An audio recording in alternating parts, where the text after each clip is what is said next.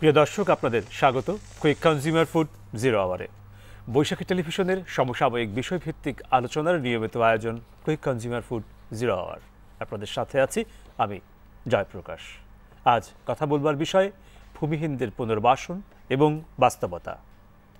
যে দুজন অতিথি আমাদের মাঝে রয়েছেন, তাদের সঙ্গে পরিচয় করিয়ে দিচ্ছি। আমার ডানে প্রথমেই রয়েছেন আবুল কালাম শামসুদ্দিন, প্রকল্প পরিচালক আশ্রয়ন প্রকল্প দুই। এরপর রয়েছেন মোহাম্মদ সেলিম খান, দশ নং লক্ষ্মীপুর মডেল ইউনিয়ন চেয়ারম্যান। আমরা এ দুজনের সঙ্গে কথা বলব ভূমিহীনদের পুনর্বাসন এবং বাস্তবতা এই প্রসঙ্গে। তবে তার আগে যথারীতি এক নজর দেখে নিচ্ছি বৈশাখীর শিরোনাম। জঙ্গি সন্ত্রাস মাদকের বিরুদ্ধে শিক্ষার্থীদের কাউন্সেলিং এর উদ্যোগ নেবে সরকার, বললেন প্রধানমন্ত্রী। দেশবাসীকে নববর্ষের শুভেচ্ছা। দুর্নীতির দুই মামলায় বিচারকের প্রতি খালেদা জিয়ার অনাস্থা, পিলখানা হত্যা মামলার ডেথ প্রেফারেন্সের শুনানি শেষ, রায় যে কোনো দিন। যারা ধর্ম নিয়ে রাজনীতি করে, তারাই আওয়ামী লীগকে সাম্প্রদায়িক বলছে। অভিযোগ ওবায়দুল কাদেরের বিরোধী মতকে দমনের চেষ্টা হচ্ছে, বলছে বিএনপি। সুনামগঞ্জের হাওড়ে বাঁধ নির্মাণে অনিয়মের বিষয়ে তদন্তে নেমেছে দুদক। ফসলের ক্ষতিপূরণের দাবিতে কৃষকদের বিক্ষোভ সমাবেশ। এবং নতুন বছরকে বরণ করে নিতে দেশ জুড়ে নানা প্রস্তুতি। অসাম্প্রদায়িক বাংলাদেশ গড়ার প্রত্যয়, কর আদায় সারা দেশে প্রথমবারের মতো এনবিআর এর হালখাতা। প্রিয় দর্শক, আমরা দেখছিলাম বৈশাখীর শিরোনাম। যাচ্ছি আলোচনায়। আজকে দুই অতিথি, আবুল কালাম শামসুদ্দিন এবং মোহাম্মদ সেলিম খানের সঙ্গে। বিষয় এর ভিতরে আপনারা জেনে গেছেন, ভূমিহীনদের পুনর্বাসন এবং বাস্তবতা। ভূমিহীনদের পুনর্বাসনের ব্যাপারে সরকারের যে দৃষ্টিভঙ্গি বা কেন্দ্রীয় যে দৃষ্টিভঙ্গি, সেটাকে এক কথায় বললে যে কেউ যেন গৃহহীন না থাকে। আমরা দেখেছি মাননীয় প্রধানমন্ত্রী বিভিন্ন সময় বিভিন্ন অনুষ্ঠানে এ কথাটি বারংবার উল্লেখ করেছেন যে তিনি চাইছেন না যে তার সরকারের আমলে একটি মানুষও গৃহহীন থাকুক। হ্যাঁ এই যে সরকারের যে কেন্দ্রীয় চিন্তার জায়গা, সেই চিন্তার প্রেক্ষিতে মাঠ পর্যায়ে আশ্রয়ন প্রকল্পে আপনারা কি কি ধরনের উদ্যোগ নিচ্ছেন? বড় ধরনের পুরো আলোচনাই থাকবে আসলে এটি থেকে প্রথমে একটু জেনে নেব যে বড় কি কি ধরনের উদ্যোগ আছে এবং তারপর সেলিম খান, আপনার কাছে যাব। আপনার কাছ থেকে জানব যে আসলে তৃণমূল পর্যায়ে এই উদ্যোগগুলোর প্রকৃত অবস্থা কি, সেটি আপনার কাছে শুনব। তারপরে প্রথমে আবুল কালাম শামসুদ্দিন আপনার কাছে যাচ্ছি। ধন্যবাদ আপনাকে। আসলে বড় উদ্যোগ, আমি এর আগে বড় উদ্যোগগুলো আগে একটু পিছনে যাওয়া দরকার আমাদের। আমি আশ্রয়ণ প্রকল্প শুরুটা কীভাবে হচ্ছে সেটা একটু দু লাইনে না বললেই নয় যেটা। আসলে উনিশশো সাতানব্বই সালে এটি শুরু হয়েছিল। তৎকালে একটি ঘূর্ণিঝড় হয়েছিল উনিশে মে। তো কক্সবাজারে বর্তমান মাননীয় প্রধানমন্ত্রী গিয়ে সেই তাদের দুর্দশা দেখে উনি বললেন যে এই নিরন্ন গৃহহীন মানুষদেরকে আশ্রয় দিতে হবে। যেহেতু আমাদের দেশটা ঘূর্ণিঝড় প্রবণ, বন্যা, খরা প্রতিনিয়ত ভূমিহীন বেড়েই যাচ্ছে প্রতি বছর। তো উনার ওই নির্দেশনা প্রেক্ষিতে সাতানব্বই সাল থেকে এই আশ্রয়ণ প্রকল্পটি প্রধানমন্ত্রীর কার্যালয় থেকে শুরু করা হয়েছিল। অদ্যাবধি এটি চলছে। এটা তিনটা ফেজে এটা অতিক্রম করছে। প্রথম ফেজ শেষ দ্বিতীয় ফেজ শেষ এখন তৃতীয় ফেজটি চলছে। তৃতীয় ফেজ চলছে। তৃতীয় ফেজে এই তিনটি ফেজে বিভিন্ন প্রক্রিয়ার মাধ্যমে প্রায় দেড় লক্ষ ভূমিহীন গৃহহীন পরিবারকে পুনর্বাসন করা হয়েছে। এটি হচ্ছে এটা ব্যাকগ্রাউন্ড বর্তমানে যেটা হচ্ছে যে মাননীয় প্রধানমন্ত্রী নির্দেশনা দিয়েছেন যে সারা দেশে আর একটি পরিবারকেও খোলা আকাশে যে থাকবে না, কেউ গৃহহীন থাকবে না। তো সে প্রেক্ষিতে আমাদের ম্যান্ডেট আছে, আশ্রয়ণ প্রকল্পের ম্যান্ডেট আছে। ম্যান্ডেট আছে গুচ্ছগ্রাম, যেটা ভূমি মন্ত্রণালয় থেকে করা হচ্ছে। মাননীয় প্রধানমন্ত্রী নির্দেশনা দিয়েছেন দু হাজার উনিশ সালের মধ্যে দুই লক্ষ আশি হাজার পরিবারকে আমরা পুনর্বাসন করব। আশ্রয়ন দুই প্রকল্পের মাধ্যমে আর গুচ্ছগ্রামের মাধ্যমে। আর কিছু সামান্য কিছু পুনর্বাসন করা হবে, সেটা হচ্ছে বাংলাদেশ ব্যাংকের একটি তহবিল আছে, সেটা হচ্ছে গৃহায়ণ তহবিল। সেখান থেকে অবশ্য লোন নেবে তারা। যাদের একটু সামর্থ্য আছে তারা লোন নেবে কিন্তু আশ্রয়ন প্রকল্প এবং গুচ্ছগ্রাম প্রকল্প থেকে সম্পূর্ণ বিনামূল্যে তাই গৃহহীনদেরকে পুনর্বাসন করা হচ্ছে।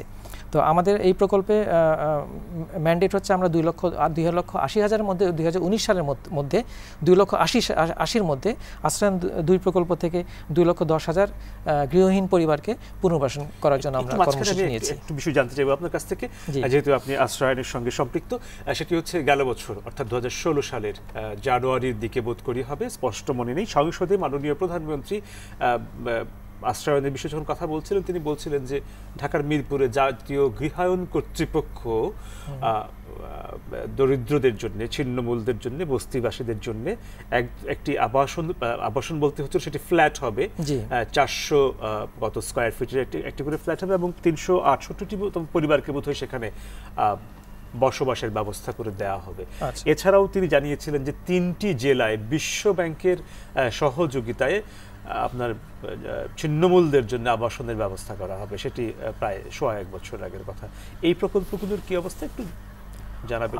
আসলে আশ্রয়ন প্রকল্পের যে ম্যান্ডেট সেটি ভিন্ন। সেটা হচ্ছে সারা দেশে এটি রুরাল অঞ্চলে। আচ্ছা। কিন্তু ঢাকা শহরে সিটি কর্পোরেশনে উপজেলা সদরে এখানে কিন্তু ভিন্ন পরিকল্পনা রয়েছে সরকারের। যেমন জাতীয় গৃহায়ণ অধিদপ্তর যেটা বললেন জাতীয় গৃহায়ণ অধিদপ্তর আছে গণপূর্ত মন্ত্রণালয়ের অধীনে। তো তারা এই এইটা নিয়ে কাজ করছে। বস্তিবাসী উন্নয়নে ভিন্ন প্রজেক্ট নিয়ে তারা বহুতল ভবন নির্মাণ করছে। আশ্রয়ন প্রকল্প থেকে যেটি করা হচ্ছে সেটি হচ্ছে সাতানব্বই সাল থেকে যখন শুরু হচ্ছে তখন টিনশেড ব্যারাক করা হতো। আচ্ছা। এবং বর্তমানে অনেক ডাইমেনশন চেঞ্জ হয়ে গেছে। এখন টিন শেড ব্যারাকের পরিবর্তে এখন আমরা করছি পাঁচ ইউনিটের সেমি পাকা ব্যারাক। এবং কোস্টাল এরিয়াতে আমরা পাকা ব্যারাক করে দিচ্ছি। কিন্তু ওই বস্তিবাসীদের জন্য যেটা ভিন্ন বহুতল ভবন সেটা কিন্তু ঢাকা শহরে যেটা প্রজেক্ট নিয়ে করা হয়েছিল সেটা প্রকল্প মানে সেগুলো মহানগর কেন্দ্রিক। এবং সেটা গণপূর্ত মন্ত্রণালয় থেকে হ্যাঁ, সেটি সেটি করা হচ্ছে কর্তৃপক্ষের অধীনে জাতীয় গৃহায়ণ কর্তৃপক্ষের অধীনে করা মন্ত্রণালয়ের অধীনে করা হচ্ছে। সেটা আশ্রয়ণ প্রকল্পের অধীনে নয়। আচ্ছা। আমাদের অধীনে সুনির্দিষ্টভাবে ব্যারাক করা হয়। এবং বর্তমানে ডাইমেনশন চেঞ্জ হয়ে এখন আবার বহুতল ভবনে আমরা যাচ্ছি। সেটা হচ্ছে বিশেষ একটি প্রকল্প আছে কক্সবাজারে। সেটা সেখানে আমরা দেড়শো বিল্ডিং করছি পাঁচতলা ভবন। এটা একটি ইউনিক প্রকল্প এবং এটা হচ্ছে আমি বলি সেখানে কক্সবাজারে এয়ারপোর্ট সম্প্রসারণ করতে গিয়ে এই এখানে পাঁচ হাজার পরিবার সেখানে ক্ষতিগ্রস্ত হয়েছিল। তারা সেখানে থাকতো তারাও ভূমিহীন। মাননীয় প্রধানমন্ত্রী নির্দেশন দিয়েছেন যে এই পাঁচ হাজার পরিবারকে সেখানে বহুতল ভবনে পুনর্বাসন করতে হবে। কাজটা কি শুরু হয়েছে? সে কাজটি অলরেডি শুরু হয়েছে। সেখানে আমরা ভূমির উন্নয়ন করে দিয়েছে আশ্রয়ণ প্রকল্প থেকে এবং বর্তমানে আমরা জমিটা এএফডি অর্থাৎ আর্ম ফোর্সেস ডিভিশনকে হ্যান্ডওভার করে দিয়েছি। তারা প্রথম পর্যায়ে দশটি ভবন নির্মাণ কাজ শুরু দিয়ে- শুরু করে দিয়েছে। এবং এটা হবে বিশ্বের সবচেয়ে বড় ক্লাইমেট রিফিউজি যাদেরকে বলে। আচ্ছা। এটা একটা রোল মডেল হবে যে ক্লাইমেট রিফিউজিদের কীভাবে আমরা পুনর্বাসন করছি। সে এটা একটা ইউনিক এক্সাম্পল এই কক্সবাজার খুরুশকুল আশ্রয়ণ প্রকল্পটি হতে পারে। আসব আপনার কাছে যাচ্ছি মোহাম্মদ সালিম খান আপনার কাছে। সরকারের যে নানা ধরনের উদ্যোগের কথা আমরা শুনতে পাই মাননীয় প্রধানমন্ত্রীর কাছ থেকে আমরা নিয়মিতই শুনতে পাই। তিনি জানান আমাদেরকে তথ্য দেন, কি কি ধরনের উদ্যোগ নেওয়া হয়েছে, কোথায় কি কি উদ্যোগ নেওয়া হয়েছে, নানা ধরনের প্রচার প্রচারণার অংশ হিসেবে সরকারি দপ্তরগুলো থেকে সেখান থেকে আমরা জানতে পারি। কিন্তু তৃণমূল পর্যায়ে আসলে এই এই গৃহীত যে উদ্যোগগুলো প্রতিক্রিয়াটি কি, বাস্তবতাটি কি, সেটা একটু বুঝতে চাইব আপনার কাছ থেকে। আমি সর্বপ্রথম ধন্যবাদ জানাচ্ছি বৈশাখী টেলিভিশনের পরিবারকে। এবং বৈশাখীটি আজকে আজকে এই আয়োজনে যারা আমাকে অংশ- অংশগ্রহণ করার জন্য সুযোগ দিয়েছেন এবং আমার চাঁদপুরের লক্ষ্মীপুর মডেল ইউনিয়নের জনগণ যাকে যারা আমাকে ভোট দিয়ে নির্বাচিত করেছে, তাদেরকে ধন্যবাদ জানিয়ে আমার কথা আমি শুরু করছি। আসলে আমাদের চাঁদপুর সদর এবং হামসর, বিশেষ করে বাংলাদেশে একটি নদীবান্তি এলাকা হিসেবে পরিচিত, এটা বাংলার সকলেই জানে। দুই হাজার আটের উনত্রিশে ডিসেম্বর নির্বাচনের পূর্বে বর্তমান বাংলাদেশের আওয়ামী লীগের যুগ্ম সম্পাদক, সাবেক সফল পররাষ্ট্রমন্ত্রী আমাদের চাঁদপুরের দুশো বাষট্টি চাঁদপুর তিনের বর্তমান সংসদ পররাষ্ট্রমন্ত্রী সংসদীয় বিষয়ক কমিটির সভাপতি ডাক্তার দীপুমণি, নির্বাচনী এলাকা এটা। উনত্রিশে ডিসেম্বর জাতীয় সংসদ নির্বাচনের পূর্বে সাতাইশে ডিসেম্বর চাঁদপুর পৌর পার্কে। ডাক্তার দীপুমণি সেদিন বাংলাদেশের আওয়ামী লীগের সভানেত্রী, বঙ্গবন্ধুর কন্যা জননেত্রী শেখ হাসিনা তৎকালীন বিরোধী দলীয় নেত্রী ছিলেন। ভিডিও কনফারেন্সে টেলিফোন করে বলেছিলেন যে, আপা, আমার নির্বাচনী এলাকাটি দুশো বাষট্টি চাঁদপুর তিন। চাঁদপুর হামসর একটি নদীভাঙ্গি এলাকা হিসেবে পরিচিত। প্রতিদিন দুই একর তিন একর জমি নদীর গর্ভে বিলীন হয়ে যাচ্ছে। বাংলাদেশ আওয়ামী লীগ যদি সরকার গঠন করে, বাংলা, আপনি যদি বাংলাদেশ আওয়ামী লীগের সবার প্রধানমন্ত্রী হন, তাহলে আমার নির্বাচনী এলাকাটাকে নদীবাঙ্গার হাত থেকে স্থায়ীভাবে সমাধান করবেন কিনা এবং ভূমিহীন ও গৃহহীনদের পুনর্বাসন করবেন কিনা? আপা, আমি আপনাকে আরেকটি কথা স্মরণ করে দিই। বাংলাদেশ স্বাধীনের পর এই নির্বাচনী এলাকাটি আওয়ামী লীগ কখনো পায়নি। এটা আওয়ামী লীগের বাইরে ছিল। বঙ্গবন্ধুর কন্যা জড় সর্বকালে সর্বশ্রেষ্ঠ ও সর্বশ্রেষ্ঠ বাঙালি জাতির জনক বঙ্গবন্ধু জাতির পিতা কন্যা জননেত্রী শেখ হাসিনা সেদিন বলেছিলেন ভিডিও কনফারেন্সে। যদি বাংলাদেশ আওয়ামী লীগ সরকার গঠন করে বাংলাদেশ আওয়ামী লীগ যদি আমাকে প্রধানমন্ত্রী বানায় অবশ্যই চাঁদপুরের নদীবান্তি ভূমিহীনদেরকে আমি ধীরে ধীরে পুনর্বাসন করব এবং চাঁদপুর নদীবান্তির হাত থেকে স্থায়ীভাবে সমাধান করব। প্রায় চারশো কোটি টাকা ব্যয়ে পানি উন্নয়ন বোর্ডের মাধ্যমে চাঁদপুর হ্যামচর নদীর পূর্ব পাটটি বাদ দেওয়া শুরু করেছে শেষ করে ফেলেছে। পশ্চিম পাশে এবার আহ, হ্যামচরে মনে হয় ওই যে বাংলা বাজার না জানি আলু বাজারে কাজ শুরু করে দিয়েছে। আস্তে আস্তে আস্তে আস্তে পশ্চিম পাশে শেষ করবে। এবং উনি বঙ্গবন্ধুর কন্যা বঙ্গবন্ধু ধরুন জাতির জন্য আচ্ছা, কথা রেখেছেন। এই যে আপনি যে বাচ্চির তৃণমূলের পর্যায়ে কথা বল আসতেছি সেরকম কথা রেখেছেন। চাঁদপুরে তখন উনি ডাক্তার দিবুনি এমপি হওয়ার পর ওনাকে পররাষ্ট্রমন্ত্রীর দায়িত্ব দিলেন এবং ওনাকে ডেকে নিয়ে বললেন যে তোমার কতজন নদীবান্তি আছে? তুমি তা তালিকা করো ডিসি সাহেবের মাধ্যমে আমি নদী ভাঙ্গার কাজ শুরু করব। মাননীয় প্রধানমন্ত্রীর নির্দেশে আপা, ডাক্তার দীপুমণি, জেলা প্রশাসক মহোদয়কে নির্দেশনা দিয়েছেন এবং ধীরে ধীরে আশ্রম প্রকল্প করা শুরু করলেন। যেরকম আমার ইউনিয়নেও বেশ কিছু আশ্রম প্রকল্প হয়েছে। যেরকম সরকারি খাত জায়গা ছিল না, তখন পানি উন্নয়ন বোর্ডের পরিত্যক্ত জায়গা ছিল। যেরকম আমাদের এলাকাতে রামদাদি আশ্রম প্রকল্পে দুশো ষাটটি পরিবার বসবাস করতে। তাতে পানি উন্নয়ন বোর্ডের জায়গাটি ডিসি সাহেব রিজিউম করে, খাস ঘোষণা করে প্রকল্প করেছেন। ওনারাই বরাদ্দ দিয়েছেন। লক্ষ্মীপুর এক আশ্রম, লক্ষ্মীপুর লক্ষ্মীপুর আশ্রম প্রকল্প দুশো পরিবার এবং দুশো তিরিশ পরিবার, দুশো চারশো তিরিশটি পরিবার বসবাস করে। এই জমিটি আমি নিজে দান করেছি। মাননীয় প্রধানমন্ত্রীর নামে পক্ষে জেলা প্রশাসকের অনুকূলে। সেখানেও লোক বসবাস করতেছে। অদৃষ্ট তৃণমূল পর্যায়ে আমাদের যে নদীবান্তি ভূমিহীনদেরকে আছে মাননীয় প্রধানমন্ত্রী যেরকম বলেছেন, একজন ভূমিহীনও থাকবে না, একজন গৃহহীনও থাকবে না। সেভাবে মাননীয় প্রধানমন্ত্রী কর্মী যারা আছে এবং আওয়ামী লীগের কর্মী আছে, সংসদ সদস্য যারা আছে, তারা চেয়ারম্যান আছে মেম্বার আছে, জেলা প্রশাসক মহোদয় আছে, প্রকল্প পরিচালক মহোদয় অনেক পরিশ্রম করতে, করে সে কাজ করতেছে। কিন্তু ওনার অফিসে কি হচ্ছে সেটা জানি না, কি, কেন এই বছর নতুন কোনো প্রকল্প অনুমোদন যাচ্ছে না। এবং মাননীয় প্রধানমন্ত্রীর নির্দেশ নতুন প্রকল্প বলতে আমরা কি বুঝব? আমার দর্শকরা কি বুঝবে? সহজ করে বলি এই ওই অর্থ বছরে কোনো মাননীয় প্রধানমন্ত্রী কিন্তু বলেছেন দুই হাজার উনিশ সালের মধ্যে প্রত্যেকটি আশ্রম প্রকল্প মানে উনি- ওই ছাড় একটু বলেছেন এক লক্ষ আশি হাজার লোক পুনর্বাসন করবে সম্ভবত। দুই লক্ষ দুই লক্ষ আশি হাজার। কিন্তু এই অর্থ বছরে কোনো নতুন আশ্রম প্রকল্প এখন পর্যন্ত বাস্তবায়ন হয়নি। আমার জানা মতে। আমার চাঁদপুর থেকে জেলা পরিষদ একটা প্রস্তাব কীভাবে পাঠায়? উপজেলা টাস্কফোর্স কমিটি একটা যাচাই বাছাই করে খাত জমি দেখে উপজেলা টাস্কফোর্স কমিটি মিটিং করে মাটির গাছের পাককলন করে কতটা ব্রাক হবে পাককলন করে অনুমোদন করে জেলা টাস্কফোর্স কমিটির কাছে পাঠায়। জেলা প্রশাসক হলো টাস্ক- জেলা টাস্কফোর্স কমিটির সভাপতি।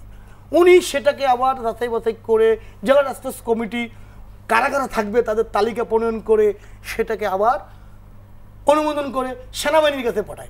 সেনাবাহিনীর থেকে একটি টিম আসে। এসে সরজমিনে পরিদর্শন করে যে এখানে আশ্রম প্রকল্পটি হওয়ার উপযোগী কিনা এবং কাজ করা যাবে কিনা। তারা পরিদর্শন করে আবার জেলা প্রশাসককে প্রত্যয়নপত্র দেয় লিখিত আকারে। জেলা প্রশাসক, প্রকল্প পরিষদক মহোদয়ের কাছে পাঠায়। আমার জানার মধ্যে চাঁদপুর থেকে না বাংলাদেশে অনেক জায়গা থেকে অনেক প্রকল্প এসেছে, কিন্তু এই অর্থ বছরে কোনো নতুন প্রকল্প শুরু হয়নি। শুরু আচ্ছা এই বিষয়টি যদি দেখি আসাম প্রকল্পের প্রকল্প পরিচালক যেহেতু উপস্থিত আছেন এখানেই সরাসরি জেনে নেওয়া যাক এই বিষয়টি। না আসলে চেয়ারম্যান সাহেব যেটা বললেন উনি কোন তথ্য থেকে বলেছেন আমি ঠিক জানি না। তো আমরা এটা যে প্রবাহমান সতত প্রবাহমান তো এটা নিয়মিত প্রবাহিত হচ্ছে নদীর পানির মতো তো আমরা এবছর এ- এ পর্যন্ত মাননীয় প্রধানমন্ত্রী দু দফায় বাইশটি প্রকল্প অনুমোদন দিয়েছেন এবং আমরা ইতিমধ্যেই কাজও শুরু হয়ে গেছে আচ্ছা। তো অত এই তথ্য সঠিক নয় আচ্ছা। এটা চলছে না ঠিক আছে আপনি এই এই- মানে এই এই সংশ্লিষ্ট যদি আরও কিছু বলার থাকে তারপরে আমি আমার পরের প্রশ্নে যাব আর কি। আচ্ছা তো সেটা আমি আমি আমি সেটা আমি বলছি যে আসলে এই যে এবার এই অর্থ বছরে 22টি 22টি 22টি ইতিমধ্যে আমরা কাজ শুরু করে দিয়েছি এবং সেটা কাজ ফিফটি পার্সেন্ট হয়ে গেছে। এখানে একটু প্রসঙ্গক্রমে একটু একটু চেয়ারম্যান সাহেব যেটা। যেটা উনি যেটা বললেন অভিযোগ করলেন যে হচ্ছে না কেন? এটা হচ্ছে যে আমাদের স্টিয়ারিং কমিটিতে সিদ্ধান্ত আছে যে আহ, একই এলাকার মধ্যে অত্যাধিক প্রকল্প হচ্ছে। আচ্ছা। অন্য অন্য এলাকা ফাঁকা প্রকল্প নেই বঞ্চিত থাকছে। এটা তো সংবিধানও পরিপন্থী তো সুতরাং আমরা ওই জন্য সম্প্রতি উনি যেটা বললেন যে চাঁদপুরের তিনটা প্রকল্প অনুমোদন দিয়েছিল কিন্তু কার্যালয় থেকে অনুমোদন করা হয়নি। তো সেটা হতে পারে ওই কারণে যে একই এলাকায় অত্যাধিক প্রকল্প গিয়েছে। এটা এটা আসলে ওই সমতা প্যারিটি মানে আনার জন্য। হচ্ছে। মানে উনার এলাকা থেকে এখন আমার এলাকাতে না ওটা হলো আমার জানা মতে চাঁদপুরের নদীর পশ্চিম পারে একটি শরীয়তপুরের পাশে শরীয়তপুরের পাশে একটি ইউনিয়ন আছে এগারো নং ইব্রাহিমপুর ইউনিয়ন। না, না, যেহেতু- চাঁদপুর জেলা শহর থেকে অনেক বিচ্ছিন্ন ওটা তারা শরীয়তপুরের সাথে না যেহেতু প্রকল্প পরিচালক একটু একটু একটু কথা বলতে দেন জয় ভাই সেটা হলো শরীয়তপুরের সাথে সংযুক্ত ওরা বঞ্চিত।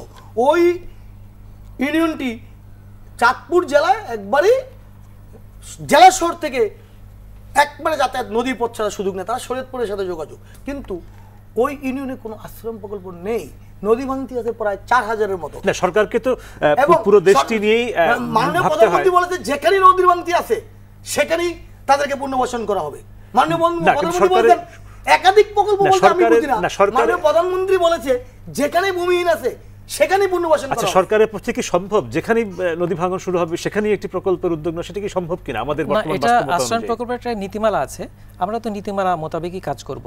তো যেখানে ভূমিহীন আছে সেখানে আশ্রয়ণ প্রকল্প কাজ করে এটাও ঠিক। তবে ওই যে আমি যেটা বললাম সমতা আনয়নের জন্য একই এলাকায় যেন অত্যাধিক প্রকল্প না যায় এই জন্য সমতা সমভাবে যেন বন্টিত হয়। যেমন মাননীয় প্রধানমন্ত্রীর প্রতিশ্রুতি আছে যে তিস্তা অঞ্চলে সমস্ত ভূমিহীনদেরকে পুনর্বাসন করা হবে।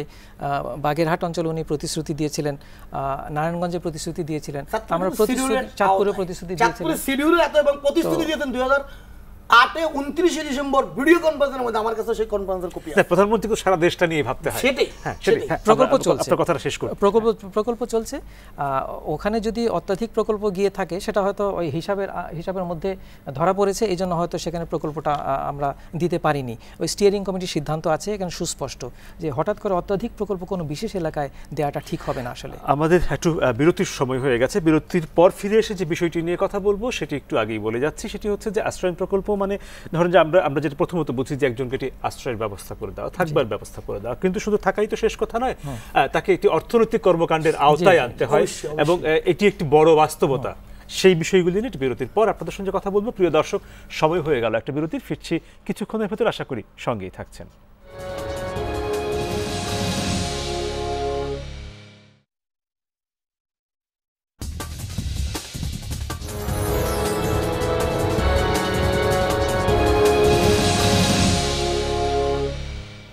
প্রিয় দর্শক, আপনাদের আবারও স্বাগত কুইক কনজিউমার ফুড জিরো আওয়ারে। ধন্যবাদ বিরতির সময় সঙ্গে থাকবার জন্য।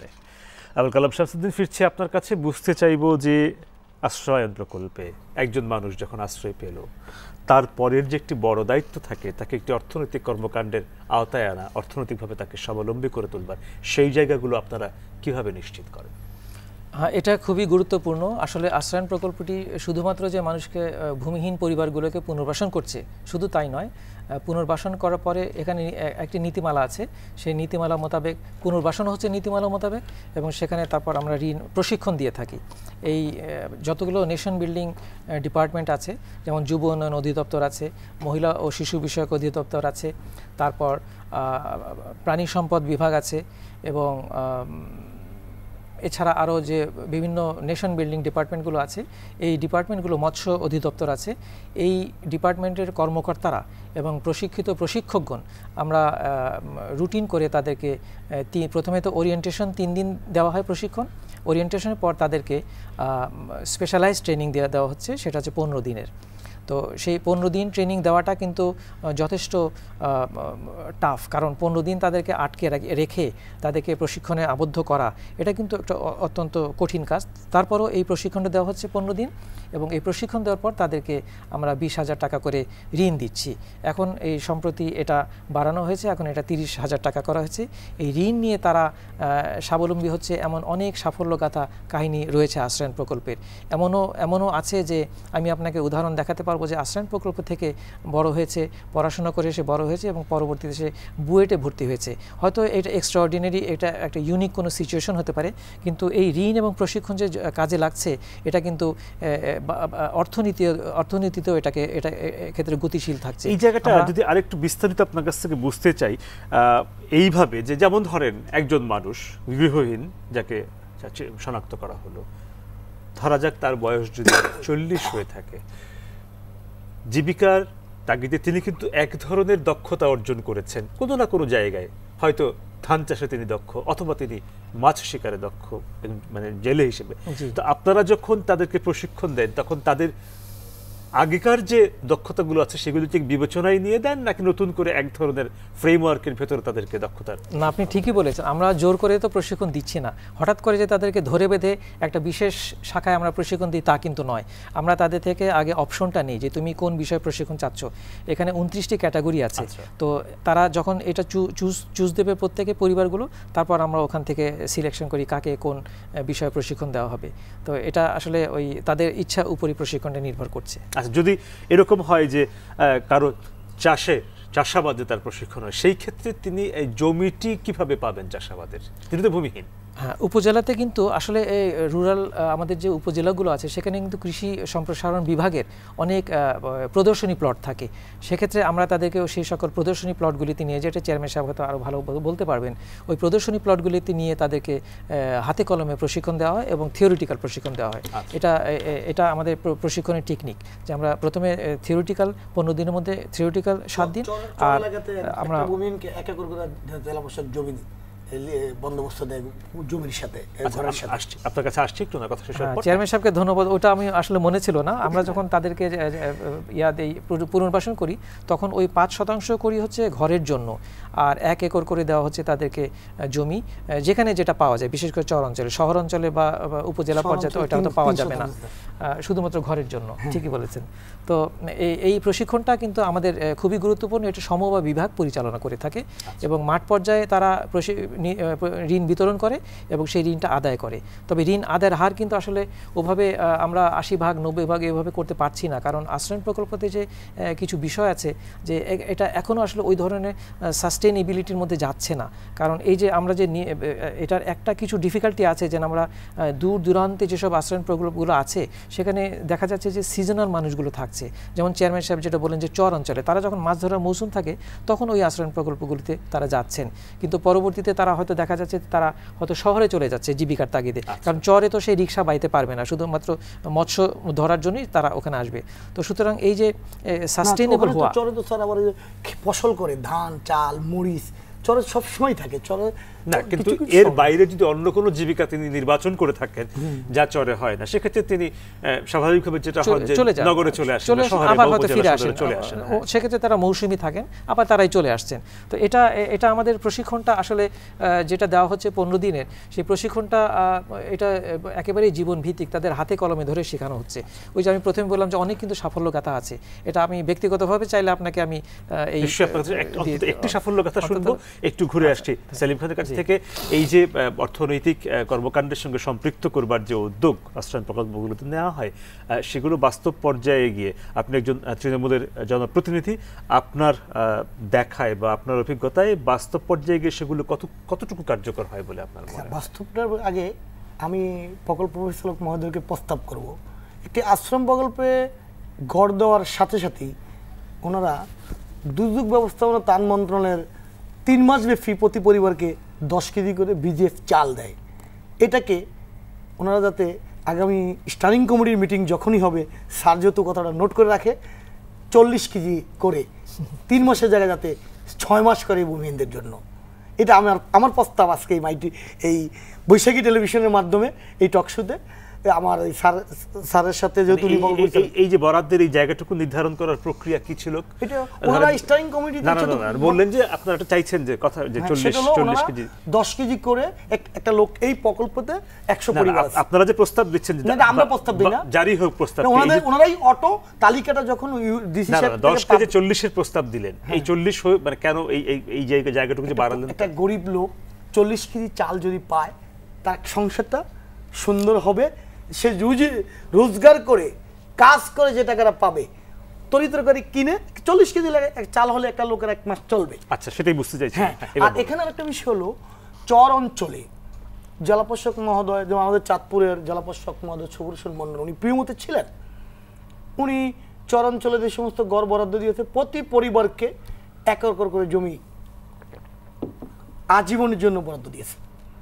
তো ওই জমিটাতে এটা কি আচ্ছা, আমি মাঝখানে জেনে এটা কি ওই অঞ্চলের বাস্তবতা নাকি সারা দেশে এই ধরনের বরাদ্দ দেওয়া হয়? এটা বরাদ্দ দেওয়া হচ্ছে যেখানে জমি পাওয়া যাচ্ছে সেখানে দেওয়া হচ্ছে চরাঞ্চলে বেশি পাওয়া যাচ্ছে অতএব চরাঞ্চলে দেওয়া হচ্ছে কিন্তু কাছাকাছি আমার দেওয়া যাবে না। আচ্ছা, আমার যে। স্ট্যান্ডিং কমিটি একটা রেজলিউশন প্রত্যেক জেলা প্রশাসক মহোদয়কে দিয়েছিলেন আশ্রমের প্রস্তাব পাঠানোর জন্য এবং ভূমিহীন গৃহহীনদের প্রস্তাব পাঠানোর জন্য। মাননীয় প্রধানমন্ত্রী বলেছেন প্রত্যেককে যার জমি আছে ঘর নাই তাদেরকে ঘর দেওয়া হবে। সেই তালিকা পাঠানোর জন্য।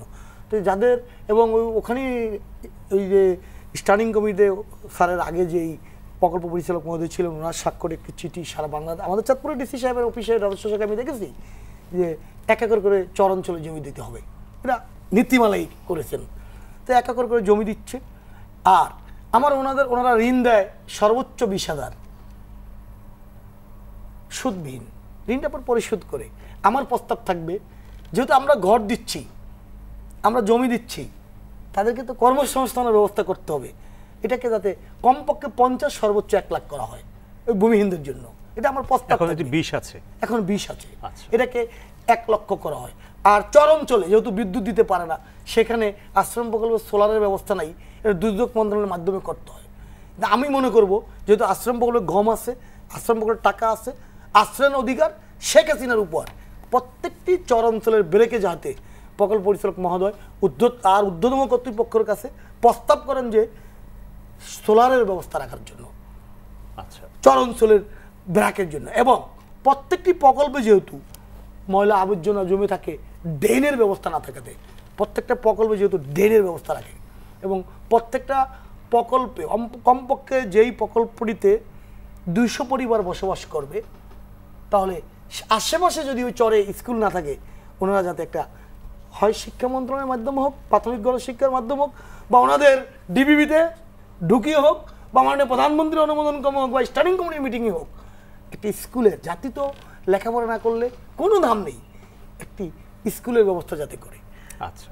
এবং আমি বিশেষ করে আমি মনে করি যে আমার চরে যেরকম আপনারা জানেন বাংলাদেশে চিকিৎসার বিষয়ে তো কিছু বললেন না। চিকিৎসা তো ওনারা করছে। সেটা অরুক চিকিৎসা কমিউনিটি সেন্টারের মাধ্যমে আচ্ছা। এবং স্বাস্থ্যসেবার মাধ্যমে। এটা ইউনু সাহেব দিদি সাহেব যেখানেই আশ্রম প্রকল্প আছে জেলা ইউনিয়ন জেলাতে আশ্রম প্রকল্পের আমার জানা মতে আশ্রম প্রকল্পের সভাপতির দায়িত্ব পালন করেন এডিসি রেভিনিউ সাহেব। উপজেলাতে দায়িত্ব পালন করেন। না প্রশ্নটি করেছিলাম এই কারণে যে প্রকল্পের আশেপাশে না থাকলে বিদ্যালয় না থাকলে আপনারা বিদ্যালয় চাইছেন। তাহলে প্রকল্পের আশেপাশে যদি হাসপাতাল বা ক্লিনিক না থাকে তাহলে কেন চাইলেন না সেটা সেই জায়গা থেকে আমার প্রশ্নটি হ্যাঁ। যেহেতু মাননীয় প্রধানমন্ত্রী যেমন শেখ হাসিনা যেখানেই দুইশো পরিবার থাকবে সেখানেই চিকিৎসক পাঠিয়ে দেয়। প্রত্যেকটি ইউনিয়নে প্রত্যেকটি গ্রামে একটি করে ক্লিনিক আছে। আমার ইউনিয়নে প্রত্যেকটি ওয়ার্ডে একটা করে ক্লিনিক আছে মানে এই জন্য ক্লিনিকের কথা আমি বলি। বলিনি কিন্তু হ্যাঁ। বিদ্যালয়ের ঘাটতি আছে। বিদ্যালয়ের ঘাটতি আছে। আচ্ছা।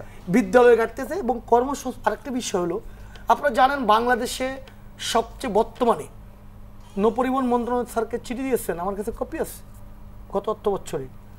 একটি গুরুত্বপূর্ণ ফেরি চ্যানেল হলো হরিণা আলুবাজার চাঁদপুর শরীয়তপুর গোপালগঞ্জ চট্টগ্রাম দেশ ফেরিটি প্রায় দুই ঘণ্টা লাগে। এই ফেরিটা ভারতে আজকে চল্লিশ বছর ধরে একটি চর জেগেছে। এই চরের মাঝখান প্রায় পাঁচ বারো হাজার ফুটের মতো। দুর্যোগ মন্ত্রণালয়ের সচিব মহোদয়ের বাড়ি ও চাঁদপুরে শাহ কামাল সাহেব, মন্ত্রী মহোদয়ের বাড়ি চাঁদপুরে, নৌপরিবহন মন্ত্রী বাড়ি মাদারীপুর, চাঁদপুর, মাদারীপুর, শরীয়তপুর পাশাপাশি হয়। এটা নিয়ে অনেক কিছু হয় এখানে একটা আশি ফুট ব্যাপী রাস্তার কাজ চলছে। স্যারও নিজে সরজমিনে পরিদর্শন করেছে। যদি ফেরিটা তাহলে এপার থেকে এপার পনেরো মিনিট লাগবে। নই সরু খালটা যে প্রতি বছর বিএডিবি ড্রেজিং করে, সেখানে মাত্র পনেরো মিনিটের সময়ের জায়গা এই আড়াই ঘণ্টা তোমায় মাত্র পনেরো মিনিট লাগবে এবং প্রতি বছর কোটি কোটি টাকা দিয়ে, আমার জানা মতো তিন চার কোটি টাকা দিয়ে বিআইডব্লিউ ডিজিং করতে হয়। ফেরি চালানোর জন্য শুধু। সেই রাস্তাটি বাস্তবায়নের হলে এই এখানে যে আশ্রম প্রকল্প আছে যে আশ্রম প্রকল্পগুলো ড্রেজিং একটি ভিন্ন বিষয় ড্রেজিং একটি ভিন্ন বাস্তবতা সড়ক থাকলেও ড্রেজিং করতে হবে হ্যাঁ, সেটা অন্য হ্যাঁ। বিষয় যে আশ্রম প্রকল্পগুলো আছে এই চরে এই আশ্রম প্রকল্পগুলোতে ফেরি এবং রোডটা চালু হলে। অনেক কর্ম আমি আপনি যেটা আসছে চাচ্ছেন কর্মসংস্থানের বিষয় সেটা আমি না, না, ভেঙে দিচ্ছি আমি একটু সময় নিচ্ছি। আশ্রয়ন প্রকল্পের পরিচালক যেহেতু এখানে আছেন আমরা ওনার কাছ থেকে শুনে নিই যে আপনারা যে তৃণমূল পর্যায়ে থেকে যে চাওয়া পাওয়ার কথাগুলি বলছেন তার কোনো কোনোটি ওনাদের পরিকল্পনার ভেতর আছে কি না বা না থাকলে একটু কথা আছে প্রকল্প পরিচালক আচ্ছা। আচ্ছা, হ্যাঁ বল। ওনার আগের প্রকল্প পরিচালক তার আগে আউয়াল সাহেব থাকতে প্রকল্প পরিচালক ছিলেন যখন, লোক রামদাসদি রামদাসদি এক, রঘুনাথপুর, তিনটি প্রকল্প আমার ইউনিয়নে হয়েছিল। একটিতে দুইশো টিনের ব্যারাক একটিতে দুইশো ষাট পরিবার, একটিতে একশো পঁচিশ পরিবার, একটিতে এক- একশো পঁচিশ পরিবার। ওনাদের প্রকল্প থেকে বারবার চেষ্টা করো, দুইশো ফুটের মাথায় বিদ্যুৎ থাকা সত্ত্বেও আমরা বিদ্যুৎ পাইনি। কারণ বিদ্যুতের দায়িত্ব ওনার অফিসে এমন একজন লোক, ওনার খেয়াল মতন করে, আজকে আট বছর সেখানে আমরা বিদ্যুৎ পাইনি। আচ্ছা এই সমস্যাটা নিয়ে আমরা কথা বলব। কিন্তু একটু আমাদের বিরতিতে যেতে হচ্ছে। ফিরে এসে তৃণমূল পর্যায়ে থেকে যে প্রস্তাবগুলো পেলাম, একজন ইউনিয়ন চেয়ারম্যান এখানে উপস্থিত থাকার কারণে সেই বিষয়গুলো, যেহেতু আপনি এখানে, আপনি উপস্থিত আছেন প্রকল্প পরিচালক হিসেবে, জেনে নেব আপনার কাছ থেকে একটু এই বিষয়গুলো নিয়ে আপনাদের এরই ভেতরে কোনো ভাবনা আছে কিনা বা আগামী পরিকল্পনাগুলো কি? বিরতির পর ফিরছে আপনার কাছে। আবুল কালাম শামসুদ্দিন। প্রিয় দর্শক, সময় হয়ে গেল আর একটা বিরতির। ফিরছে কিছুক্ষণের ভিতরে। আশা করি সঙ্গেই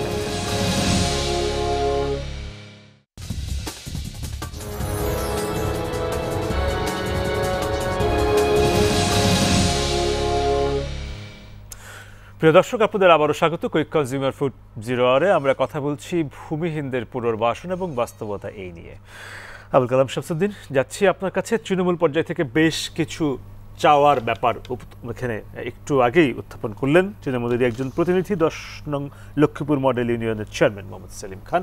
এগুলোর ব্যাপারে একটু আপনার কাছ থেকে উনি প্রথমত যেটা বলেছেন যে এটা আহ, খুবই যৌক্তিক যে আসলে আশ্রয়ণ প্রকল্পে পুনর্বাসনের পরপর প্রথম তিন মাস প্রতিটি পরিবারকে তিরিশ কেজি করে গম দেওয়া হচ্ছে। দশ। উনি বলছেন দশ কেজি। দশ কেজি দিচ্ছেন আপনারা 10 কেজি। করে হ্যাঁ এটাকে চল্লিশ কেজি করার জন্য আমি প্রস্তাব করছি। তো এটা যেটাই হোক যে এখন তো আমাদের সক্ষমতা সক্ষমতা বেড়ে গেছে। তো এই অনন্তকাল তো এইভাবে তাদেরকে গম দিয়ে আসলে এটার একটা ফিলোসফি আছে চাল দিচ্ছেন আপনারা। এখানে একটু বিষয় বলি স্যার জেলেদেরকে কিন্তু সরকার দুই মাস মাছ ধরা বন্ধ রাখে।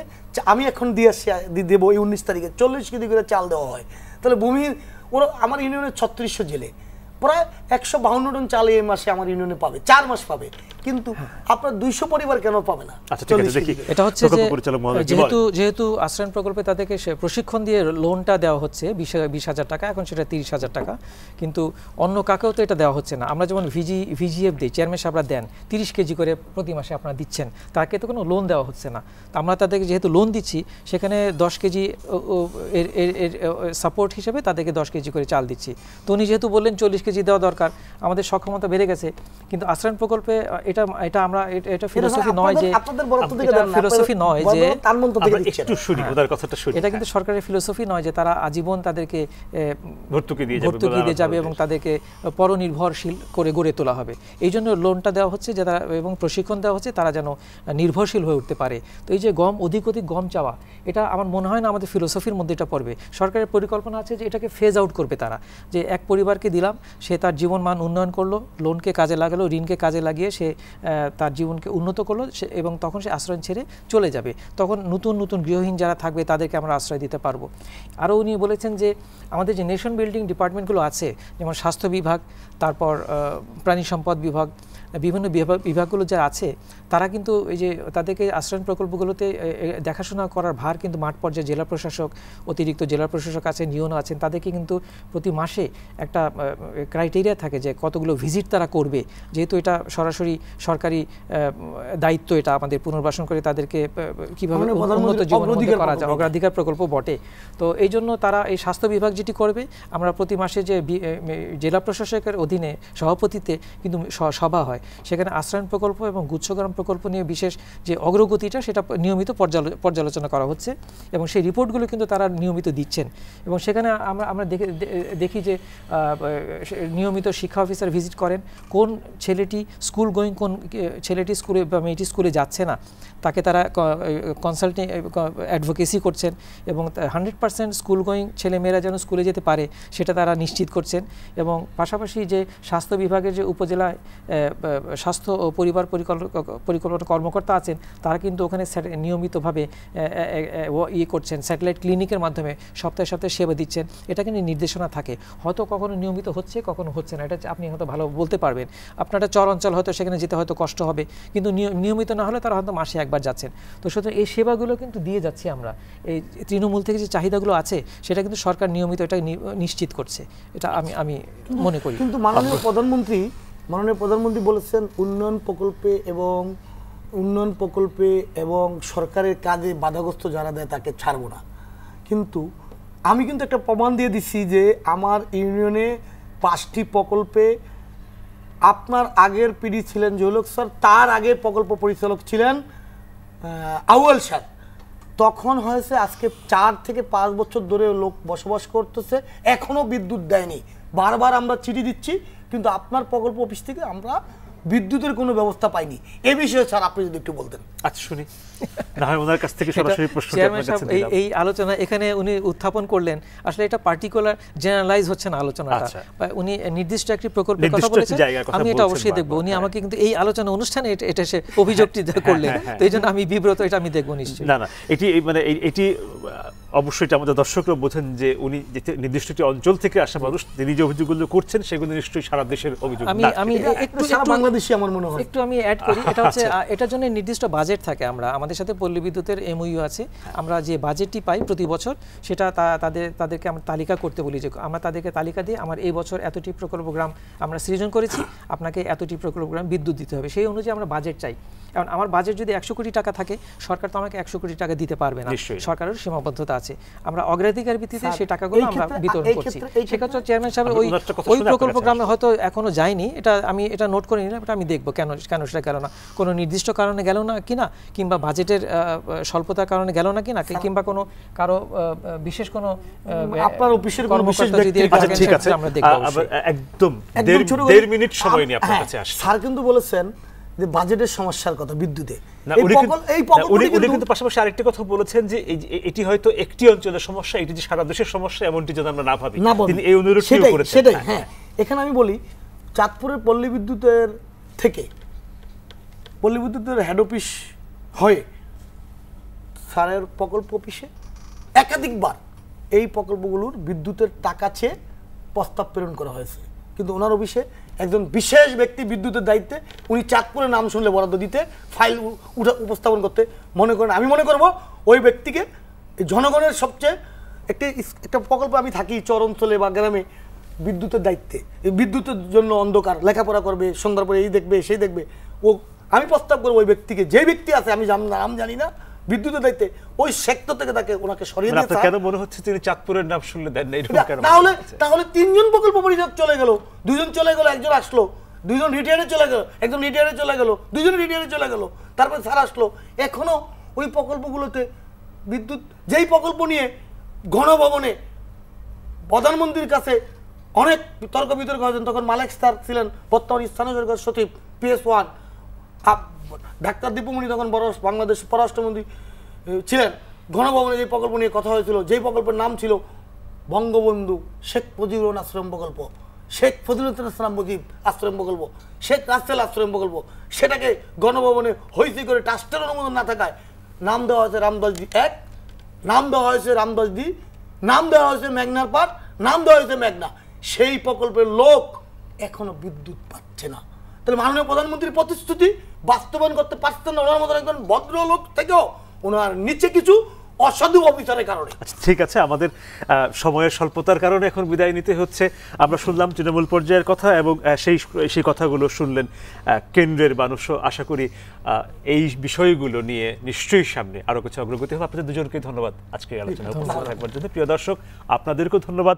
ভূমিহীনদের পুনর্বাসন এবং বাস্তবতা নিয়ে কেন্দ্র ও প্রান্তের দুই প্রতিনিধির সঙ্গে যে আলোচনা সেটি এতক্ষণ আমাদের সঙ্গে থেকে শুনবার জন্য আজ এখানে শেষ করছি। জিরো আর কাল আবারও দেখা হচ্ছে। অন্য কোনো বিষয় সে পর্যন্ত ভালো থাকুন। সুস্থ থাকুন শুভরাত্রি।